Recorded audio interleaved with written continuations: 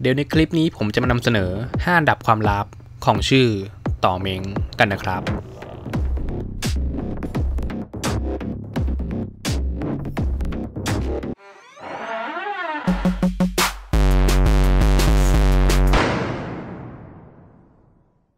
ช่วงนี้มือถือค้างบ่อยมากครับคุณผู้ชม แต่คุณสามารถบอกลาปัญหานี้ได้เลยครับ ถ้าหากว่าคุณมีแอป Knox Security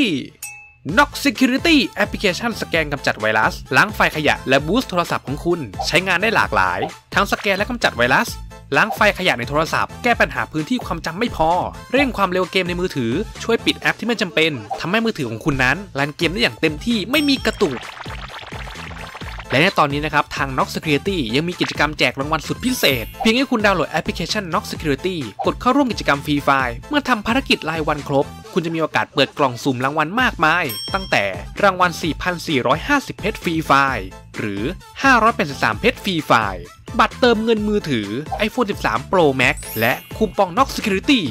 ขอย้ำ แจกฟรี แจกจริงทุกวัน กิจกรรมเริ่มตั้งแต่วันที่ 21 ถึง 28 มกราคมนี้นะครับผม ใครอยากได้แอปพลิเคชันดีๆ อย่าลืมไปดาวน์โหลด Nox Security กันได้นะครับ สามารถค้นหาได้ทาง Play Store หรือกดได้เลยได้ที่ลิงก์ใต้คลิปนี้นะครับผม ชื่อต่อเมง เป็นอักษรภาษาอังกฤษประกอบไปด้วยตัวอักษรทั้งหมด 6 ตัว ได้แก่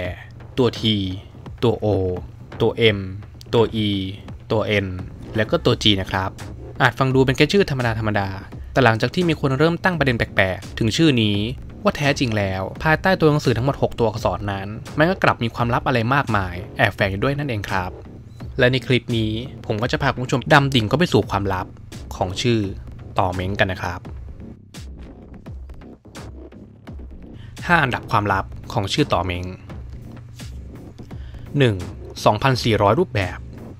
2,400 รูปแบบนั้น มันก็คือวิธีการอ่านของชื่อต่อเมง ผ่านจากการคำนวณและแตกย่อยออกมาเป็นวิธีการ นั่นก็คือ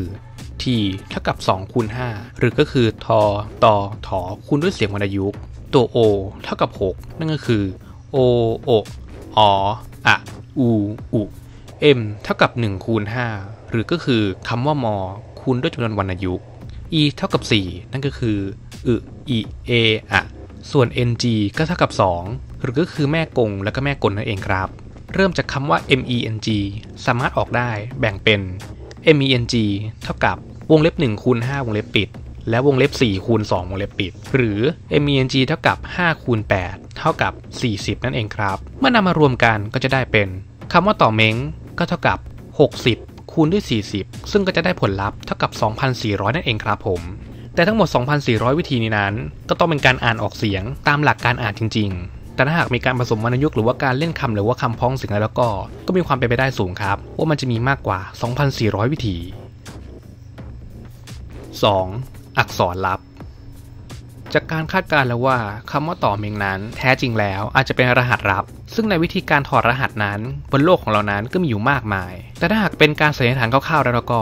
วิธีถอดรหัสลับของตัวอักษรนี้ก็อาจจะเกิดมาจากการเทียบตัวอักษรก็ได้นะครับผม กล่าวก็คือตัว T อาจจะย่อมาจากคำว่า Thales หรือชื่อของนักปราชญ์ช่วงประมาณ 600 ปีก่อนคริสตกาล ตัว O อาจจะมาจากคำว่าโอเมก้าที่เป็นตัวอักษรตัวสุดท้ายในภาษากรีกซึ่งมันก็หมายถึงจุดจบนั่นเองครับ ตัว M อาจจะเป็นการเล่นคำหรือแก้ตัวอักษรเพื่อมีความซับซ้อนมากขึ้น ตัวอักษรที่แท้จริงที่แฝงเอาไว้นั้น อาจจะหมายถึงตัว N ซึ่งก็อาจหมายถึงนอสตราดามุสชื่อของนักโหราศาสตร์ชื่อดังนั่นเองครับ E อาจจะหมายถึงแอนเดอร์สันหรือก็คือนามสกุลของชายผู้คิดค้นหลอดไฟหลอดแรกของโลก อย่างโทมัสแอนเดอร์สันนั่นเองครับ N ก็เช่นเดียวกันกับตัว M ก็คือย่อมาจาก Nostradamus ตามที่บอกก่อนหน้านั่นเองครับผม ส่วนตัวจิกับสุดท้ายนั้น อาจจะมาจากคำว่ากุสุกาคาตุโยตซึ่งเป็นภาษาญี่ปุ่นเขียนได้ดังนี้นั่นเองครับ และเมื่อแปลเป็นภาษาไทยก็จะได้ความหมายว่าเป็นแฟนกันเถอะ ซึ่งมันก็เป็นคำที่เป็นไปไม่ได้ที่คุณจะได้ยินจากปากของคนที่คุณแอบชอบนั่นเองครับ 3. รหัสลับหน่วย FEI ว่ากันว่าคำว่าต่อเมงเนี่ยนะครับอาจจะเป็นรหัสลับของหน่วย FEI ซึ่งสามารถถอดรหัสการคำนวณได้เป็นต่อเมงลบ9เท่ากับ 35ลบ50 หาร 4 บวกกับอีก 2 ยกกำลัง 5 คูณ 3 บวก 2 หารอีก 5 เท่ากับ 207%สแควร์รูทลบอีก 300 TO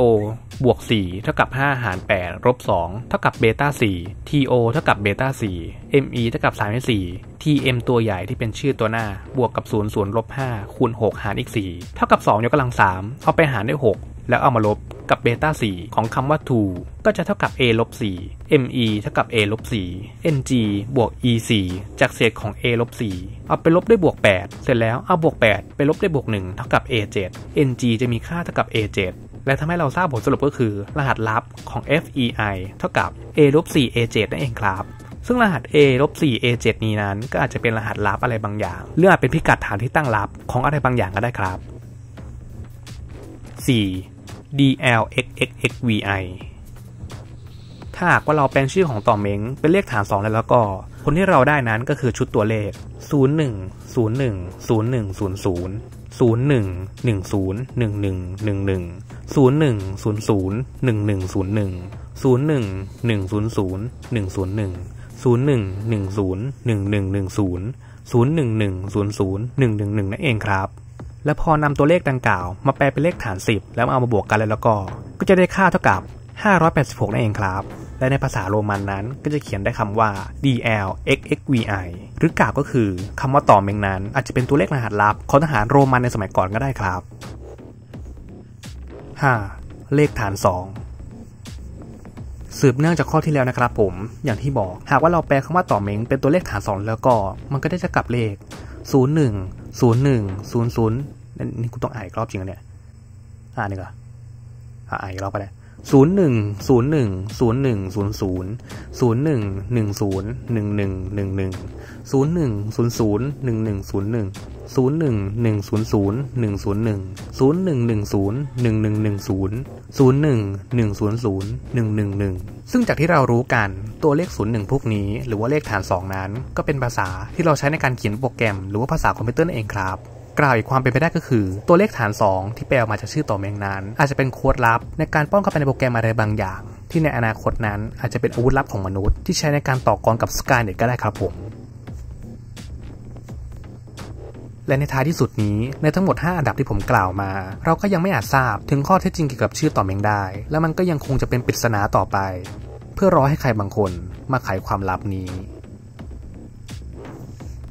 หากว่าคุณชอบคลิปนี้และอยากให้มี EP 2 ต่อแล้วก็ ก็อย่าลืมกดไลค์และกดแชร์คลิปนี้ และก็กด Subscribe กับช่องต่อเมงด้วยนะครับ แล้วสำหรับคลิปนี้ ผมผู้บรรยายขอกล่าวคำลาว่า